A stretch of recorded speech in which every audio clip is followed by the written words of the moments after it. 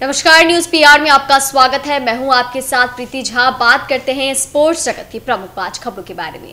पहली खबर है विराट कोहली के नाम दर्ज हुआ एक और सुनहरा रिकॉर्ड। तीनों फॉर्मेट में 50 मैच जीतने वाले पहले भारतीय बने। अश्विन ने कुंबले को छोड़ा पीछे।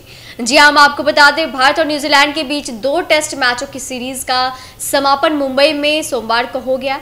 टीम इंडिया ने इस टेस्ट को तीन सौ बहत्तर रनों से जीतकर सीरीज़ एक ज़ीरो ज़ीरो से अपने नाम कर लिया है। इस मुकाबले में कई रिकॉर्ड भी बने। सबसे बड़ा रिकॉर्ड की बात करें तो भारतीय कप्तान विराट कोहली ने बनाया है। कोहली तीनों फॉर्मेट में 50-50 मैच जीतने वाले पहले भारतीय खिलाड़ी बन गए हैं और दूसरी ओर सीरीज़ में कमाल का प्रदर्शन करने वाले रविचंद्र अश्विन ने अनिल कुंबले को भी एक रिकॉर्ड के मामले में पीछे छोड़ दिया है। बढ़ते हैं अगली खबर की ओर। राहुल द्रविड़ की कोचिंग में भारतीय टीम ने दिखाया दम। वर्ल्ड चैंपियन न्यूजीलैंड को हराकर बनी दुनिया की नंबर वन टेस्ट टीम जी हाँ, विराट कोहली के नेतृत्व वाली भारतीय team world test champion New Zealand को दूसरे टेस्ट में हराकर दुनिया की नंबर वन टीम बन गई है। मुंबई के वानखेड़े में हुए दूसरे टेस्ट मैच में भारत ने न्यूजीलैंड को तीन सौ बहत्तर रन से हराया।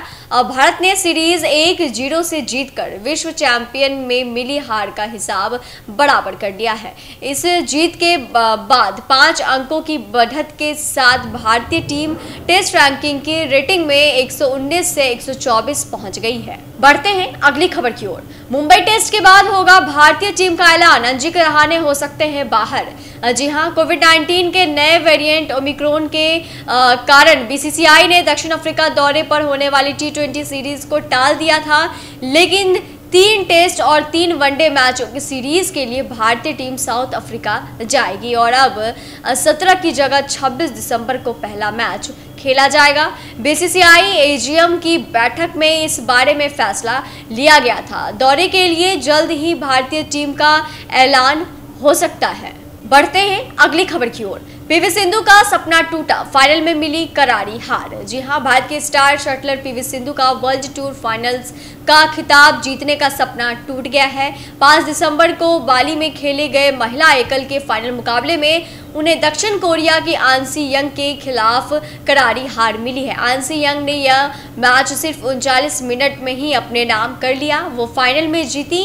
आंसी यंग के खिलाफ सिंधु के ये लगातार तीसरी बार हार है। वो उन्हें एक बार भी नहीं हरा सकी। बढ़ते हैं अगली खबर की ओर। घरेलू मैदान पर टीम इंडिया का वर्चस्व कायम। भारत घर में 9 साल से अजय न्यूजीलैंड को हराकर लगातार चौदहवीं सीरीज़ जीती है। जी हाँ भारतीय टीम ने न्यूजीलैंड को मुंबई के वानखेड़े स्टेडियम में खेले गए दूसरे टेस्ट मैच में तीन सौ बहत्तर रनों से हरा दिया है।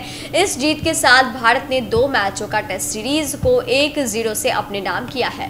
कानपुर में खेला गया पहला टेस्ट मैच ड्रॉ रहा था। न्यूजीलैंड के खिलाफ सीरीज़ जीत के साथ भारत भारत ने होम ग्राउंड पर सीरीज़ जीतने के अपने रिकॉर्ड को भी बरकरार रखा है। भारत पिछली बार 2012 में इंग्लैंड के खिलाफ सीरीज़ हारा था, जिसके बाद लगातार 9 साल से घर में भारत टेस्ट सीरीज़ जीतने में कामयाब रहा है। तो स्पोर्ट्स जगत में आज बस इतना ही। बाकी के खबरों के लिए देखते रहे न्यूज़ पीआर अगर आपने हमारे चैनल न्यूज़ पीआर को सब्सक्राइब नहीं किया है तो उसे जल्द ही सब्सक्राइब कर दें। धन्यवाद।